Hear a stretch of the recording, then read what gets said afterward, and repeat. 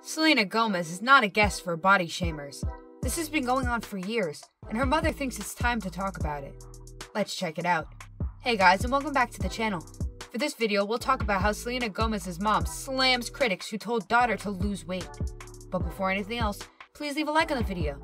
Also, don't forget to subscribe to our channel and click the notification bell down below so you won't miss any of our videos.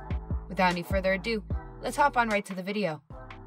Just last year, Selena Gomez has highlighted the painful repercussions of being body shamed as she gained weight as a result of her autoimmune disease, as if living with lupus wasn't challenging enough.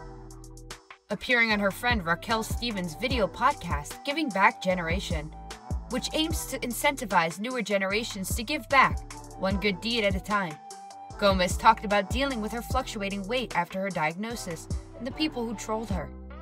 She explained, I have lupus and deal with kidney issues and high blood pressure, so I deal with a lot of health issues. And for me, that's when I really started noticing more of the body image stuff. Gomez told Stevens that her weight is affected by a combination of things the disease itself, the medication she takes to manage it, and various other health factors. She said, It's the medication I have to take for the rest of my life. It depends on even the month, to be honest. She said of her weight fluctuation. So for me, I really noticed when people started attacking me for that. And in reality, that's just my truth. I fluctuate. It depends on what's happening in my life. That got to me big time, she said of the negative comments she received about her weight on social media. That really messed me up for a bit. In an October 2015 interview with Billboard, Gomez revealed that she had been diagnosed with lupus and was undergoing chemotherapy. Less than two years later, Gomez shared more big news. She'd received a kidney from her best friend, actress Francia Raisa. I'm very aware. Some of my fans had noticed I was lying low for part of the summer and questioning why I wasn't promoting my new music, which I was extremely proud of. Gomez captioned her Instagram post announcing the transplant. So I found out I needed to get a kidney transplant due to my lupus and was recovering. It was what I needed to do for my overall health.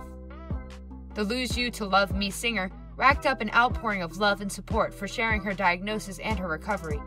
But as is always the case in the world of social media, not all of the feedback was positive. In September 2018, Gomez took an extended break from social media, suggesting in an Instagram post that it was due to the negativity she received online. Just remember, negative comments can hurt anybody's feelings, she wrote. After a five month hiatus, she returned to Instagram in January, telling her followers, Last year was definitely a year of self reflection, challenges, and growth. It's always those challenges that show you who you are and what you are capable of overcoming. Trust me, it's not easy, but I am proud of the person I am becoming and look forward to the year ahead. Love you all. But recently, her mom took the initiative to share her sentiment on all this body shaming. Teefey claims she received unsolicited advice and unpleasant criticism about her appearance and weight after appearing on the December 2021 cover of Entrepreneur magazine alongside her 29 year old daughter and businesswoman Daniela Pierson. They had no idea Teefey was fighting for her life with her health and had gained weight as a result. She was encouraged to lose weight in an Instagram post of an alleged screenshot of a private message she claims came from an unknown user. That was one of the nicer comments Teefey had received.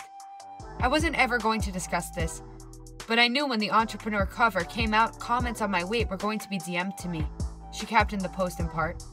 But I was out of the hospital for maybe three and a half weeks from double pneumonia. I was told I had days to live. Teefey says it's a miracle that she's alive.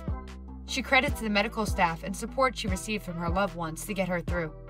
But the battle was not easy. I fought, she continued. The doctors fought, and I was one of the few who made it out. She had double pneumonia, which caused inflammation from the infection. As a result, she gained more than 60 pounds. But she refused to let it get her down. I never gave up on myself or wonder undermined coming to reality, she shared, noting a new organization focused on mental health co founded with her daughters. She continued, I had zero business to be at a photo shoot. So yesterday was a beautiful day, for many reasons filled with personal attacks. I'm healthy, and I will work on myself at my pace. It's a miracle I am here, and could care less if that means I'm a 16 instead of an 8. That's it for today. If you guys enjoyed the video, make sure to hit that like button. Don't forget to subscribe and turn on that notification bell so you'll never miss out on any future content we'll produce for you guys. We're signing off for now. We'll be sure to catch you all in the next one.